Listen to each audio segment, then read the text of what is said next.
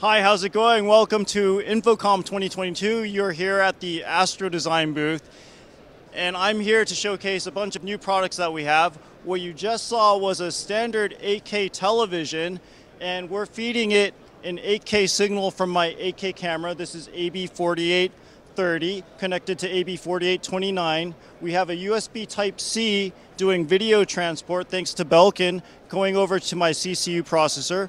Out of the CCU, we're going 12G SDI into this converter unit. Now this converter unit is special because it's the only one that can do 12G SDI to HDMI 2.1.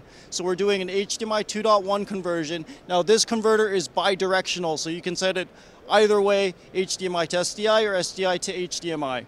The cool thing is we're showing a professional use case with the camera system so that you can see what your 8K camera is taking on an actual consumer 8K television.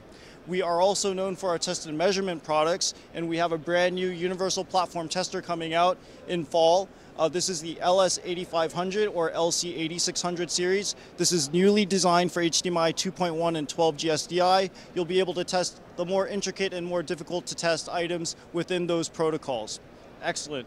On the far right here, we have our audio monitor. This is a Dante enabled audio monitor. This is a 1RU size, and we are thrilled to have this because it can support a wide variety of video formats, and we hope that you'll be able to use this audio monitor uh, within your broadcasts. And that's pretty much what we have. Oh, one more item I have here.